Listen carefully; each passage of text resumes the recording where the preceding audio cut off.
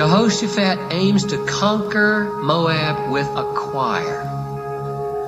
God had said the battle is mine to fight, and Jehoshaphat says, Well, let's put the choir at the front.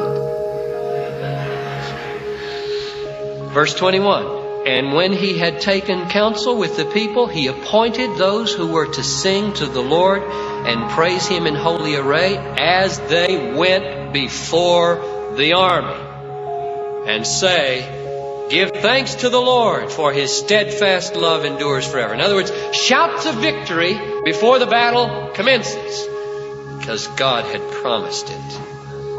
I think the writer of this book wants us to learn from verse 22 even though victory belongs to God, the singing of the choir is the occasion for the victory. Singing is not merely a response to grace.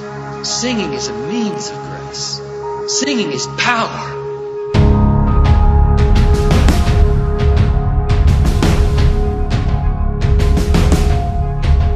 When you sing, the Holy Spirit comes and does something. Jehoshaphat sang with the choir, and Moab and Ammon and Seir killed themselves. And when Paul and Silas sang, it says, God shook. Surely the lesson is there is power when the people of God sing.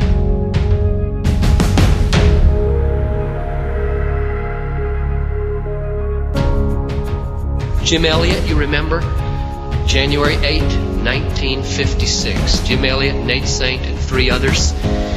They were there at the river waiting to see whether the Aucas would come out, the Indians to whom they were going to minister.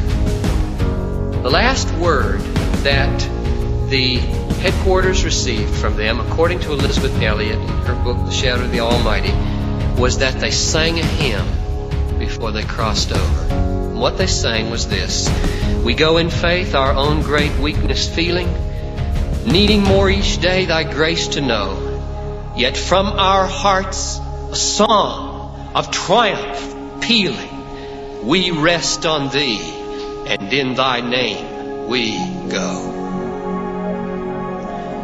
And they all got killed before 4:30 in the afternoon.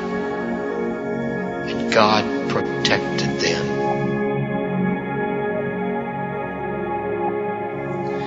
He protected them from unbelief, from cowardice, from fear, from going home and buying a house in the suburbs and saying somebody else can reach the Aucas.